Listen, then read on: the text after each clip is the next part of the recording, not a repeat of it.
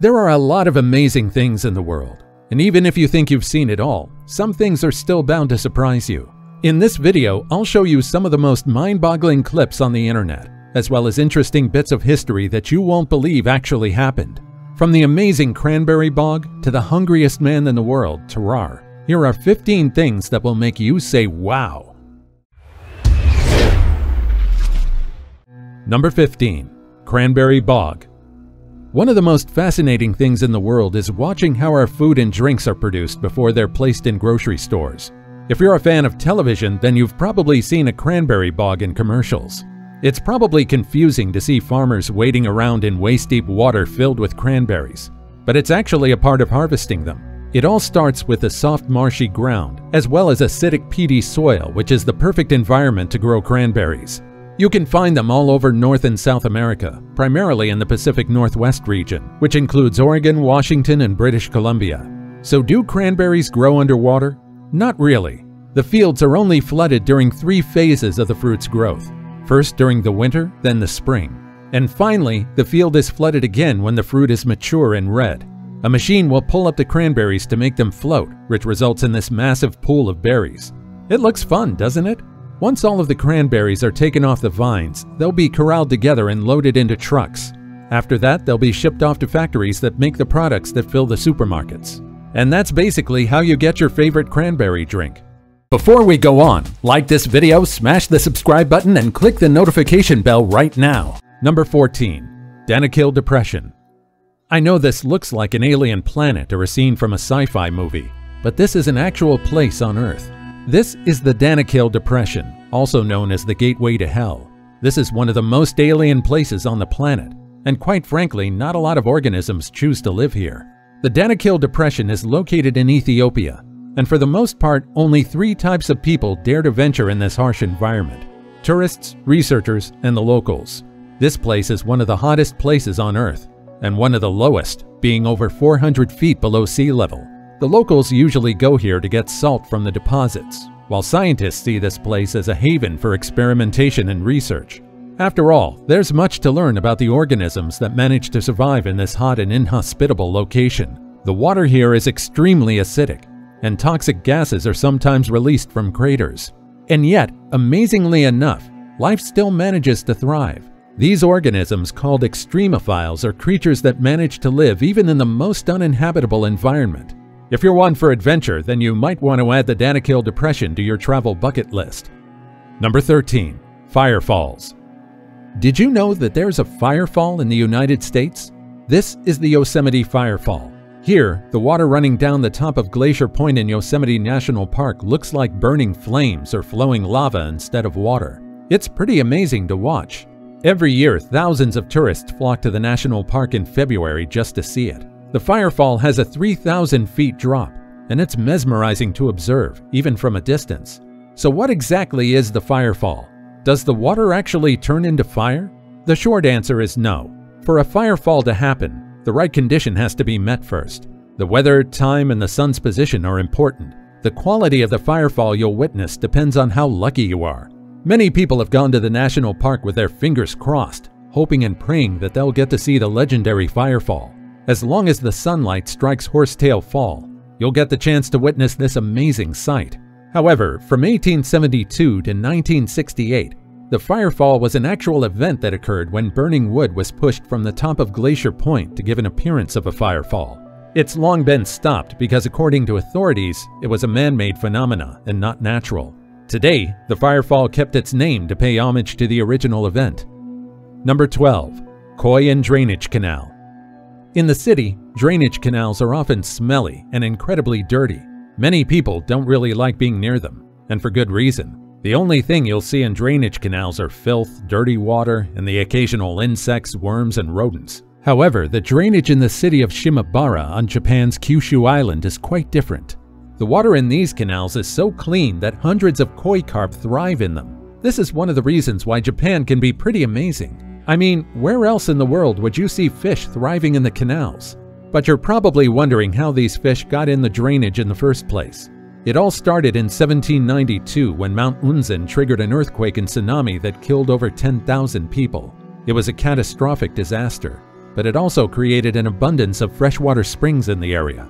As a result, clean water began to flow through the city's drainage canals. The officials then thought it would be a great idea to release fish into the 100 meter long canals, and the koi remain in the waterways to this day. It might sound easy, but it requires a lot of work to maintain the water in the drainage. The koi in the canals will remain alive as long as the locals as well as the many tourists continue to work together and keep the environment clean. I think taking care of koi carp was a really smart move. First of all, the fresh water in the drainage canal had a purpose. And second of all, the city became known all over the world, which helped them attract tourists. Finally, the presence of koi is like a reminder for everyone to take responsibility and care for their surroundings. Number 11. Flashlight Fish if you're into taking care of fish, then you might already know about these creatures. They might look like CGI, but these fish are very real. They're called flashlight fish, and the reason behind their name is quite obvious. These wonderful marine creatures live in the Indo-Pacific Ocean and the Caribbean Sea, but some people try to take care of them as pets. In the dark, these fish look like they have glowing eyes, making them look a bit cartoonish.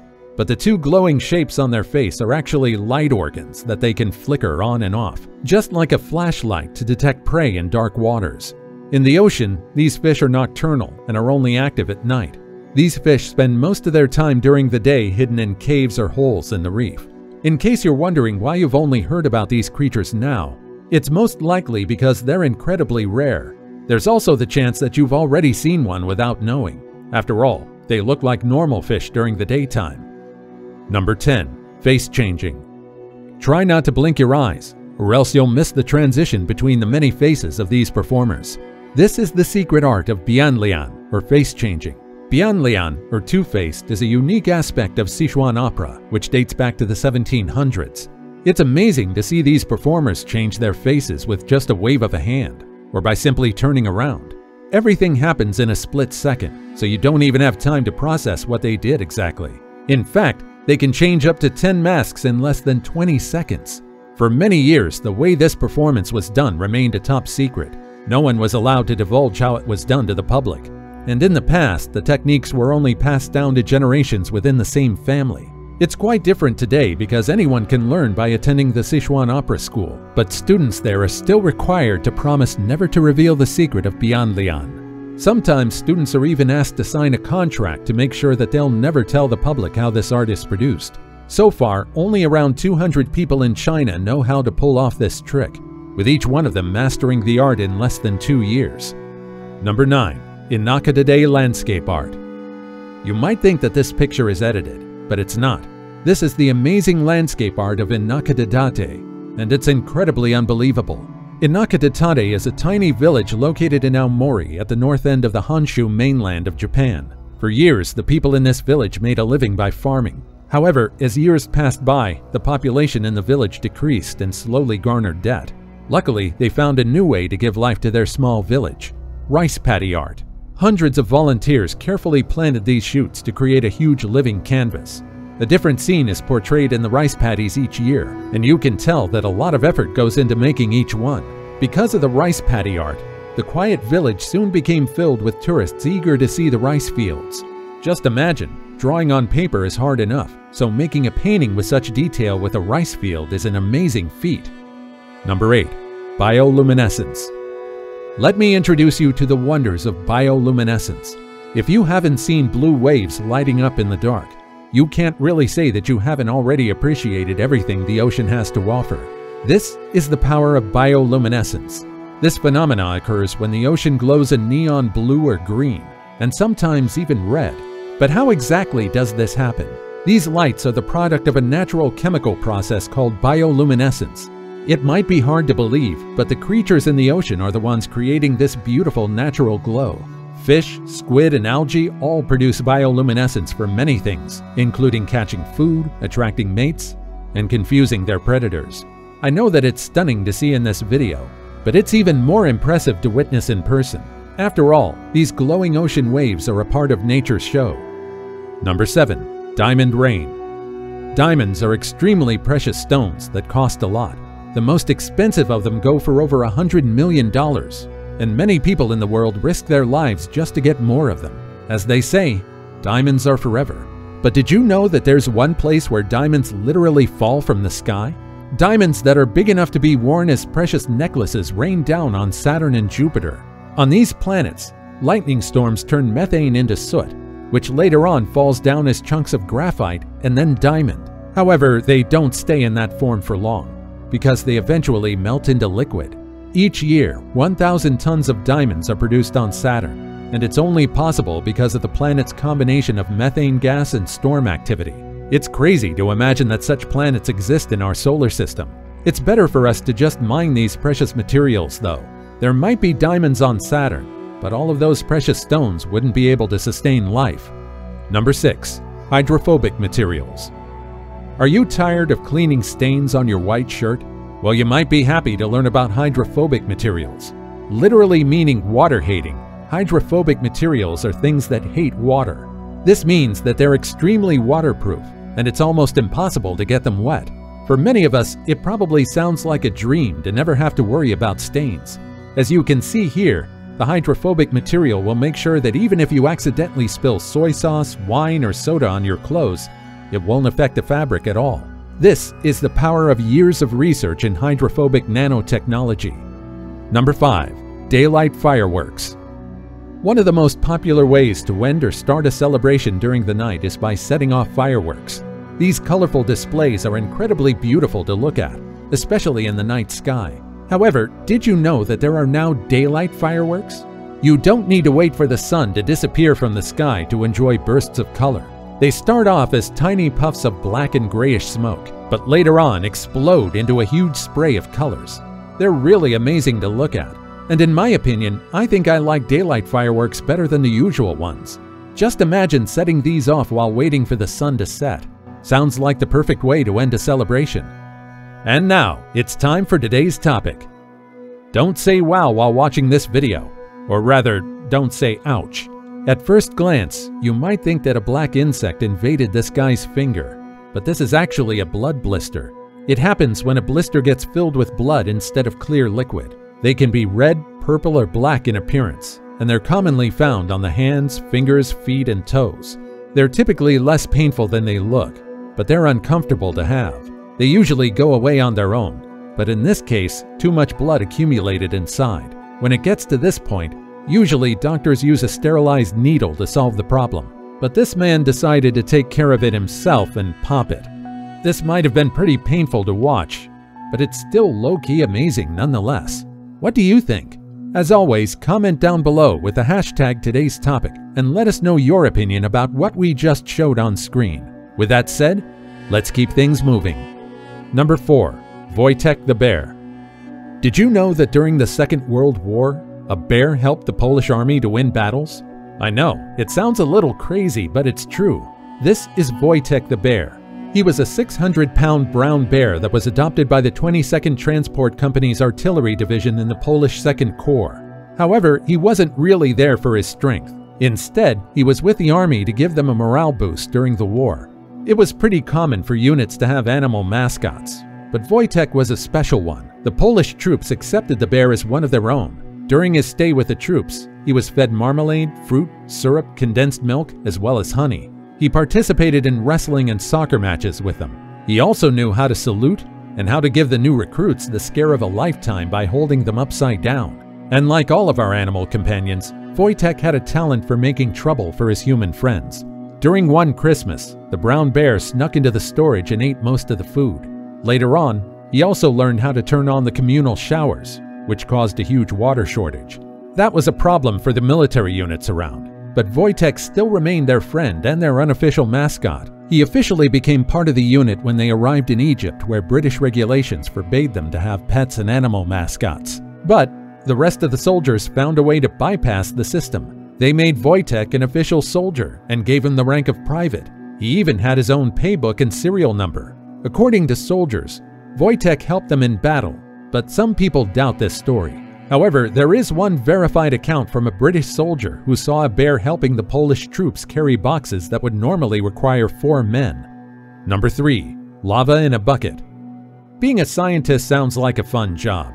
You get to discover all sorts of amazing things, and if you're good at your field, you might have a breakthrough and have your name remembered for years to come. But being a researcher isn't always fun. For instance, geologists sometimes perform dangerous projects like collecting molten rock from a hot active volcano.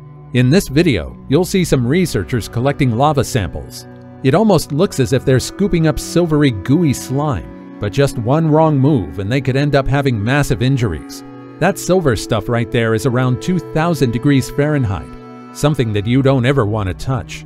But all this collecting is incredibly worth it. These samples provide a lot of important information about the volcano, which could help experts enhance public safety and decrease the damage of volcanic eruptions. Number 2. Cadaver Synod Cadaver Synod, also known as the Cadaver Trial, is one of the strangest trials in history. Usually, live people show up in court, but in January of 897, the rotting corpse of Pope Formosus was put on trial.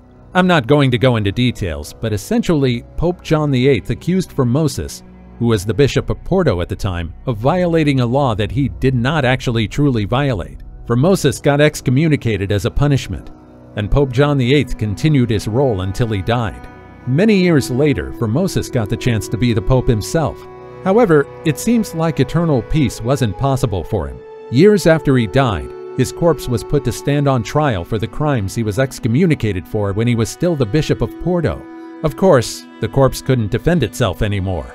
And in the end, Formosus, who was long dead, was found guilty on all counts and was stripped of his vestments.